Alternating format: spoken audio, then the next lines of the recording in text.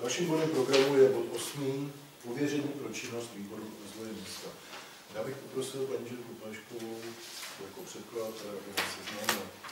Já bych vám ráda kolegové jenom vysvětlila, proč uh, předkládám tento bod nebo tuto žádost, abychom uh, společně dali dohromady jakési pověření do práce výboru rozvoje. Je to proto, že uh, tento výbor na rozdíl od výboru kontrolního nebo finančního není uh, stanoven podle zákona o obcích. Zákon o obcích říká, že uh, zastupitelstvo města na svém ustavujícím zastupitelstvu po musí zřídit výbor kontrolní a výbor finanční a může zřídit další výbory.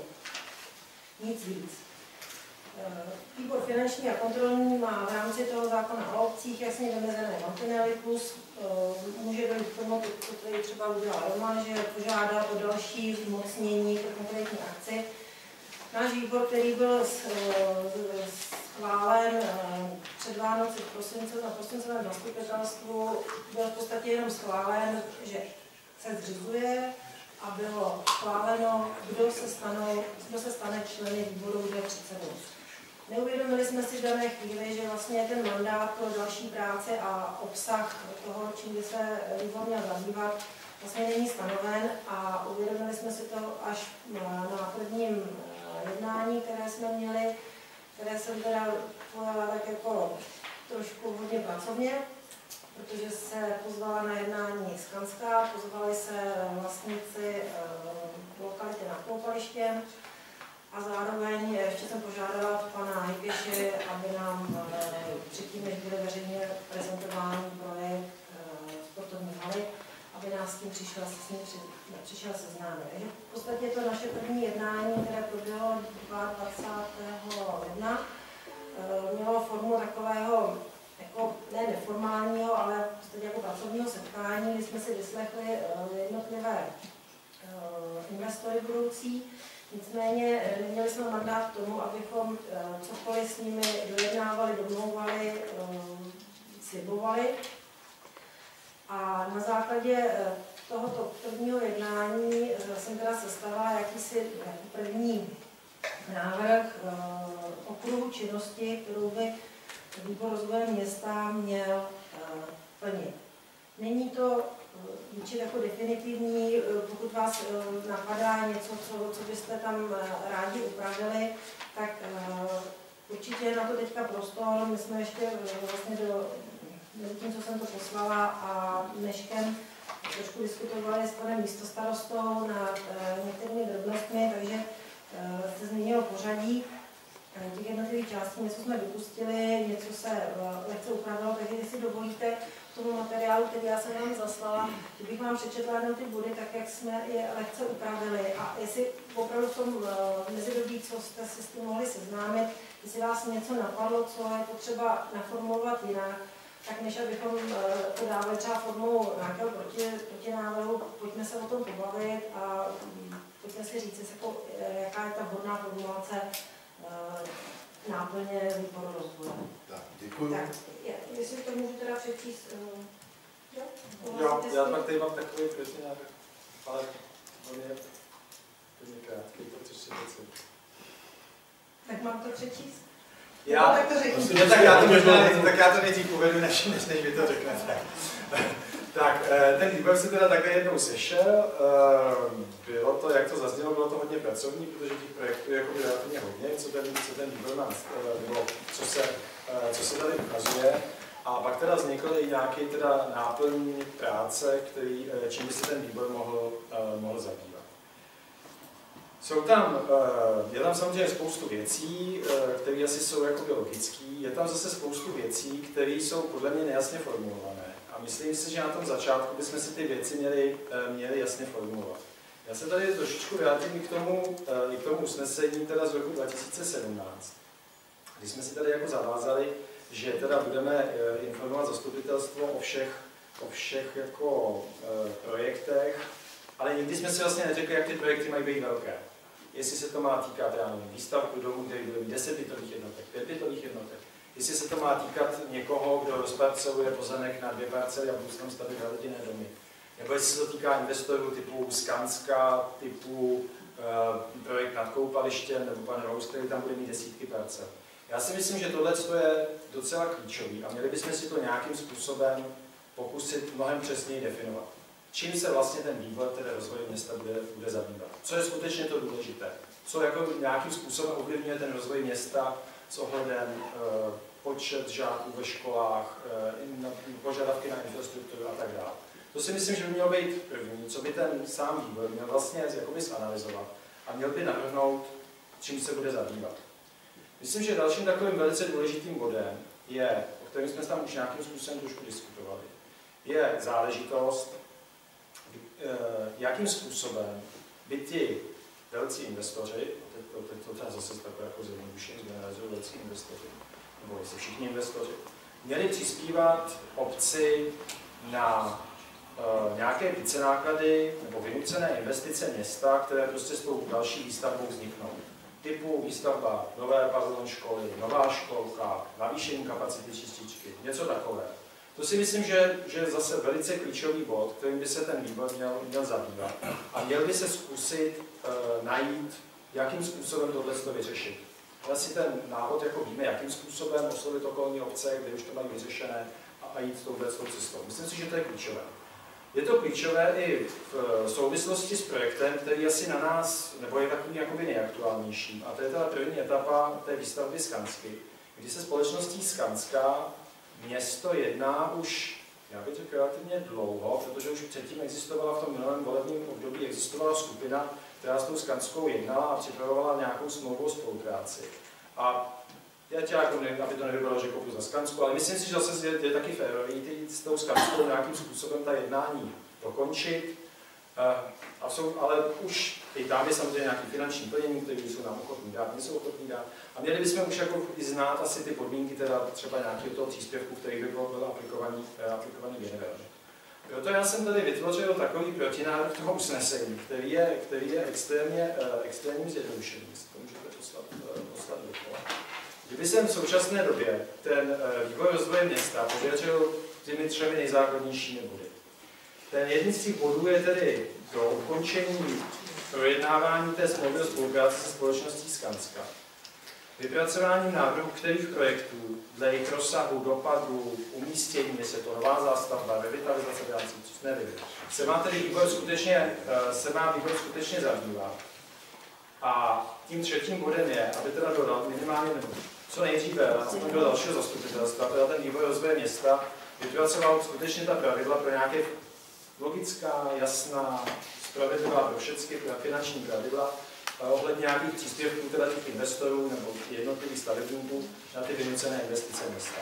Já si myslím, že tohle je jako to nejdůležitější. Ten vývoj města může samozřejmě dělat spoustu věcí, ale myslím si, že tohle jsou takové jako tři akutní úkoly, který ten výbor čeká a nedávejme se zatím příliš jako ambi, mnoho ambiciozních cílů, co chceme dokázat. Já si myslím, že, že tady s tím obsahem minimálně do dalšího zastupitelstva si vystačíme. A tenhle tu náplň, kterou jsme dostali tedy v neděli, a pak jsme si to nějakým tady během těch dvou dnů jako trošičku, trošičku jako okomentovali, ale já myslím, že těch komentářů nebylo moc, protože ten časový úsek byl prostě krátký. Pojďme se, pojďme to pozastavit prostě na ty dva měsíce, než bude další zastupitelstvo a připravme tu skutečnou náplň, tu plnou náplň až na tom dalším zastupitelstvu. Můžete doplnit, Já bych chtěl z pohledu dodržování usnesení zastupitelstva upozornit na to skutečnost, že opravdu to usnesení z roku 2017, které bylo přijato tady, tady prostě při jednání bez nějaké přípravy, se mi jeví jako nejednoznačné a teď už obšitně splnitelné. Už se to stalo u toho stanoviska s tou nemocnicí. Kdo je to individuální stavebník? Pan Matoušek možná taky individuální stavebník, on není developer, on staví, on staví pro sebe barák, prostě pro sebe. On to nebude dál. Dobře, ale nebudeme chodit do detailu. Je to nejednoznačné a v podstatě mělo by to nahradit tohle usnesení právě to pověření toho výboru. Protože jestliže něco má projednávat stanoviska k nějakým stavbám, developerů nebo nějakým velkým investorům, má projednávat zastupitelstvo, tak předtím by to mělo projít i výborem, který kvůli tomu byl zřízen. On vlastně nahradí tu naší komisi, které jsme seděli nad Skanskou. Čili tohle usnesení, které je by mělo být překonáno tímto pověřením toho výboru. Jasně, ale to je my to teďka strašně, na protinávrh pana místostarosty, strašně zužuje ten okruh. Já jsem se snažila to napsat obecně, abychom nemuseli na každém druhém zastupitelstvu dávat nové pověření. Takže teď v podstatě, kdybychom přijali ten protinávrh, tak v bodě jedna jsme pověření jedna pouze se Skanskou. Ale na tom prvním jednání eh, nás vlastně vlastníci lokality nad Koupalištěm požádali o spolupráci a o jednání. Ten dopis, který eh, obdrželo město a bylo adresováno zastupitelům, jsem vám potom rozesílala, protože jsem byla upozorněna, že jste to nedostali od, od, od města. Takže vlastně teď jsme vyloučeni z toho se zástupci lokality nad Koupalištěm 1. Takže ano, nám ubyde práce, já nebudu po nocích sepisovat nějaké litánie. Možná chybou přidám koupaliště a Sokol. Jo? Takže e, proto jsem to formulovala obecně. Jo? E, protože bude tam jakási prodleva mezi tím, kdy doputuje na e, město do podatelny nějaká žádost, nějaký návrh, doputuje to třeba, nedej bože, těsně po zastupitelstvu a my budeme dva měsíce čekat na to, až dostaneme další pověření, aby jsme vlastně byli oprávněni s nimi cokoliv jednat.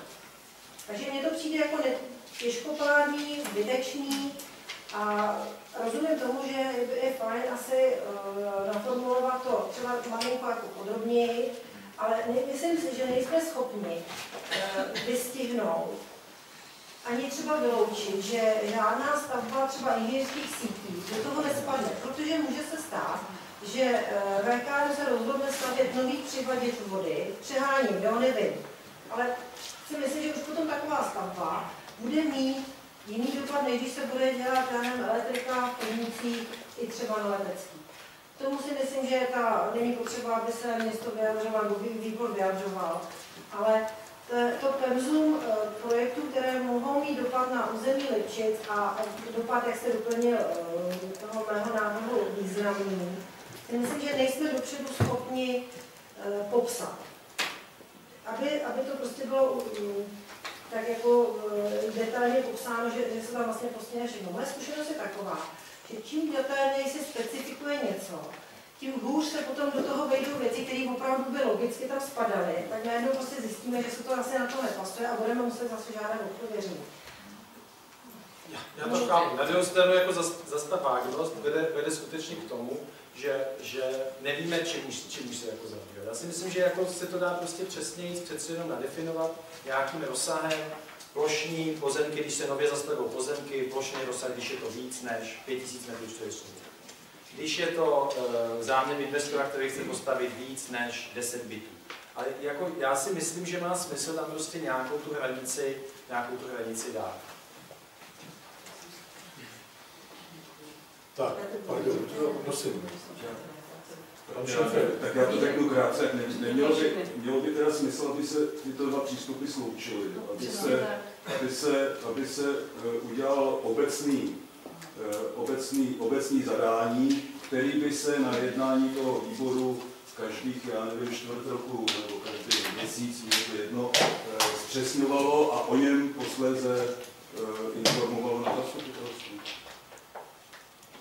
Já si myslím, že to je rozumný návrh, avšak ne pro tuto chvíli, že to nemáme připraveno, protože nejsme schopni teď o tom to tady dát dohromady. Tak to zítra přijde.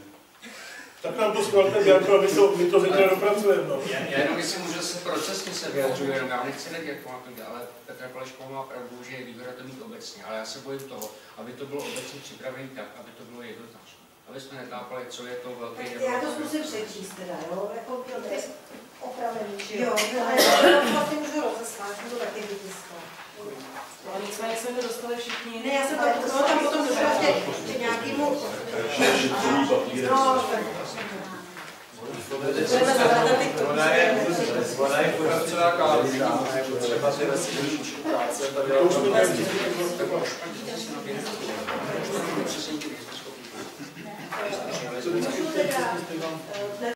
že jsme se teda s panem starostou shodli, že uh, oproti tomu, co jsem vám posílala, že bychom z toho vypustili ten strategický plán. Jo, že to bylo tak jako obecný, že uh, těžko asi můžeme řešit uh, naplňování závěru strategického plánu. To jsme z toho prostě vypustili. Zatím, když by něco vyplynulo, že, že jako, um, bychom se tomu věnovali, tak když tak potom přijde nějaké poměření. Nicméně ty okruhy, které, které mi tam zůstávají. Jednání s investory o rozvojových projektech jako první bod. Druhý bod, jednání s investory o závazku k vybudování související infrastruktury. Další, příprava pravidel a zásad pro developery. Další, příprava stanovisek města k rozvojovým projektům a projektům majícím významný dopad na své okolí a jejich předložení zastupitelstvu města. Příprava zadání pořizování, územ, pořizování územ, nového územního plánu. To v podstatě navazuje na to, co říkal pan starosta, že eh, nás jako výboru bude informovat o tom, jaký je průběh eh, toho pořizování.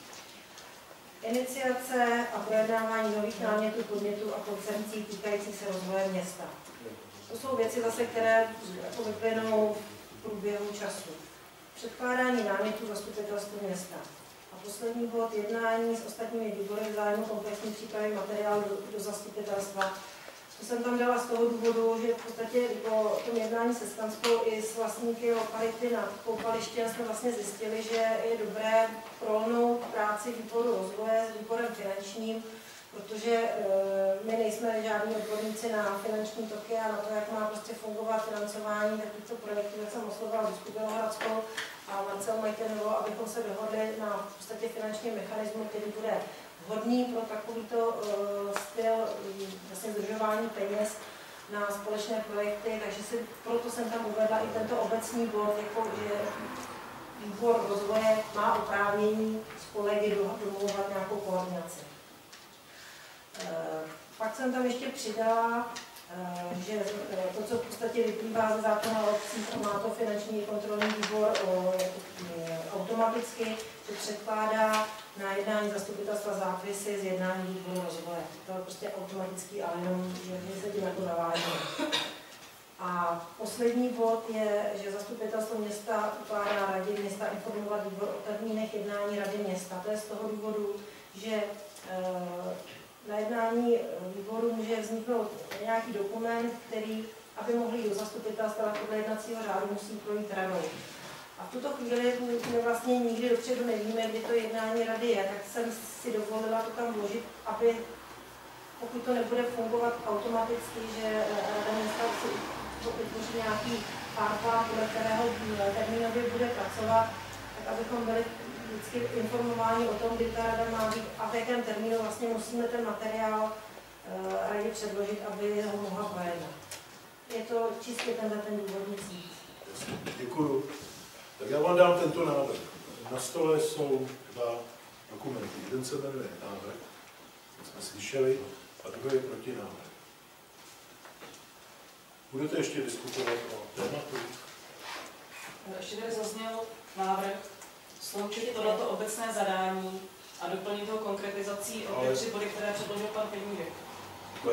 Paní Ženko, je to problém, protože pro mě, já bych pro takový to návrh, on se zdá, jako poslechově se zdá zajímavý, že jo? ale já tento návrh nepovažuji za dobrý, tenhle ten, ten, ten, návrh, ten návrh, návrh, eh, návrh, návrh, který přednesla Petra Pelešková, nepovažuji za dobrý. zadání, že nepo, protože, protože se tam budou některé věci dublovat a sloučit tyto dva odlišné dokumenty je pro mě nemožné. Takže já Můžu nechat hlasovat o druhém protinávrhu, sloučit tyto dva dokumenty. konkrétně? Nemůžu, já už jsem to tady... Já, jestli jsem, já jsem se hlásil. Pardon, já jsem se hlásila předtím a ještě bych měla teda ten dotaz, jeden, teda jeden dotaz. Uh, chtěla jsem se zeptat předsedkyně tady našeho výboru nově vzniklého, jestli viděla tento návrh zpracovaný panem Peníškem. Předtím, než jsme dostali my. A já totiž trošku nerozumím tomu, jak můžeme uh, jakoby dostat uh, podklady, který, které se neprojednal ten samotný výbor. A jak o tom teď můžeme hlasovat. A tyhle podklady jsme alespoň viděli dopředu. To se pamětí. Ty tři body také jsme, ne, ty jsme neviděli dopředu. Já teda to vysvětlím. Eh, pan Penížek, po té, co jsem tohleto rozeslala, tak eh, se na mě poněkud zlobil, že eh, jsme to neprojednali ve výboru. Uznávám, že eh, jsem to naformulovala já, to nepopírám. Nicméně to byly, část těch bodů je v podstatě z odůvodnění, které jsme měli na zastupitelstvu a které bylo naformulováno jako odůvodnění pro vznik výboru rozvoje. Takže ano, měli jsme to na výboru pro- projednat, nicméně to pracovní jednání bylo takové, že, že prostě eh, jsme se věnovali teda těm hostům a eh, tohle to prostě probíhalo až následně a bohužel zatím naše e-mailová ani jiná komunikace nefunguje tak rychle, abychom byli schopni to vládnout, takže Dobře, ale já jsem se ptala na to, jestli členové výboru viděli ten podklad, který zpracovala Petra Pelešková. Byl nám poslán, byl nám poslán v neděli večer jako všem ostatním zastupitelům. Ale jako členové to. výboru ne. Neviděli jsme to. Jako zastupitel jsme ho dostali až Jsem vyčítal členové paní- výboru nebo zastupitelé, to je, to je asi to, No. to samé. Já- to- to jsme- Pan tajemník Já se to zrušil. zrekapituluji, já to zrekapituluji, protože zase procesně jenom. Eh, Podle jednacího řádu přišel nějaký materiál v pondělí, neviděla to ani výbor a neviděla to ani rada města, nemohla tomu dát žádné stanovisko. Podle jednacího řádu je to dejme tomu špatně, ale pan místo starosta chtěl vyhovět, proto ten bod se dneska zařadil do programu jednání, jedná se o něm. A aby činnost výboru nestála, aby se nezastavila, tak po doplnění dvou akcí navrhl protinávrh, aby ta činnost výboru mohla pokračovat, s tím, že do příště by se předložil další materiál, aby se vyjasnilo to, že některé zadání jsou nejednoznačná. Čili to je to, aby se vyhovělo a pokračovalo. Neznamená to, že to dneska končí. Na příště se musí dopracovat ten zbytek. Tak to chápu procesně. Já bych navrhoval těm, kteří sou- souhlasí s oběma těma návrhy, aby hlasovali pro oba bez rozdílu politického. Já jsem jenom chtěla říct, že eh, když jsme měli to první jednání výboru rozvoje, tak eh, prvním bodem eh, toho jednání bylo, že jsme si potřebovali sestavit jednací řád, který do dneška v podstatě nemáme ještě odsouhlasený. Takže i jako procesně se nedalo jako říct, že eh, jsme schopni to schválit, protože nemáme nastavená pravidla, eh, jakým způsobem budeme eh, dokumenty schvalovat. Takže to není jako moje omluva, já uznávám, že jsem to dělala v jakési časové tísni a snažila jsem se, abychom jakýsi mandát vytvořili a mohli pracovat. A když teda dneska, dneska schválíme nějakou očistovou vizi, tak eh, dejme tomu, ale byla bych ráda, abychom teda na příštím zastupitelstvu si eh, projednali už obecnější zadání a nemuseli jsme s každým předloženým eh, zápisem z jednání výboru zase schvalovat další pověření, protože se objeví další projekty a práce se bude Teď se vlastně. Ne, nevím, jsem byl já, ale... Jo, já jsem- úplně v pohodě, já to vydržím, opravdu. Tak, Ne, já vám přednost. Tak děkuju. A mně jde o to, že bychom neměli hlavně zapomenout na to, s jakým smyslem jsme ten výbor zřizovali. A pro mě ten protinávrh pana Peníčka ty kompetence poněkud očesávají.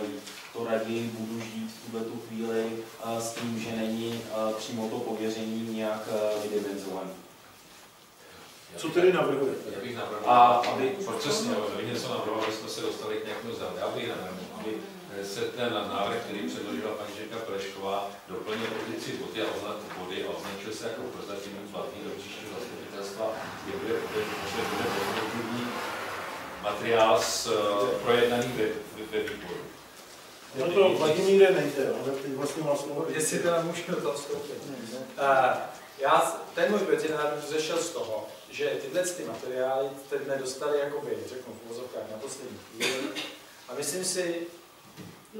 Vždycky, tak, bylo to neprojednané ve výboru. Dostali jsme to v neděli večer, zastupitelstvo je ve středu. Vždycky jsme se tady nějakým způsobem domlouvali, aby všechny materiály byly s dostatečným předstihem. Já se, já chápu, že jste uh, pracovně samozřejmě zane- zaneprázdněná. Všichni jsme zaneprázdnění. Ty materiály, vždycky, vždycky byl ten požadavek, aby byly aspoň týden dopředu. Já si myslím, že to prostě má svůj smysl, aby se tyhle ty věci daly projednat. Myslím si, že tady jako se snažíme uspěchat něco, co až takovým způsobem nechvátá. Máme obecné e, nějaký, nějaké ustanovení vycházející z toho, proč byl výbor pro rozvoj města zakládán. A já si myslím, že tady s tím obecným ustanovením si vystačíme do příštího zastupitelstva, kde můžeme, kde do té doby můžeme projednat i tuhle tu záležitost, to je skutečně na té náplně, v klidu, v pohodě a můžeme ho předložit na dalším zastupitelstvu, kde o něm můžeme hlasovat. V tom případě já stahuji svůj návrh na, eh, výboru. Takže Vítek proti nám. Ne, Ne, já stavuju svůj bod, takže... Jo, není, není to nic proti vaší práci. Ne, jo, je to, jenom jsem chtěl ještě doplnit, Ne, Já včera, pardon, ještě bych chtěla jeden dovětek, eh, co mě k tomu vedlo, je skutečně to, že je zatím obtížné domoci se odpovědi na e-maily, takže to se týká i pana místostarosty, děkuji panu starostovi, že teda nereagoval rychle. A abychom mohli pružně fungovat, tak eh, je potřeba mít zpětnou vazbu. Tak, já vám rozumím, prožívám to už 14. rok, 13. rok, ale i předtím. Ale chci říct jednu věc, Ne, ne, já zápasím, já, pane doktore, nebo pane Šemfelde, zápasím s tím, abych od zastupitelů a členů různých komisí vymámil jejich názor. Mám, mám jim názory a málo kdy to stačí. Prosím vás, já jenom za to děkuju, protože, ale to vůbec neznamená, že naše, náš výbor, když nejsem předseda, tak náš výbor musí pracovat dál, nebo čas neúprostně běží. A e, včera byl termín, kdy jsme měli odpovědět z Fransky. Nebyl včera. Nebyl, pak jsme si měli dát ty připomínky. A, a takhle v nejbližších jako dnech nastane ten okamžik, kdy, kdy se s tím musíme zabývat. Ale nejsme kompetentní. jo, ale, ale jsme potom. Nejsme. Tak dobře, Takže takže, chcete ani ten protinávrh hlasovat? Ne, já svůj Takže takže, se je to vyřízeno. Já vám děkuji za tuto diskuzi a otvírám bod různé. To znamená, že jsme stále i ten protinávrh? Když není návrh, není celý ten já jsem navrhovala bod.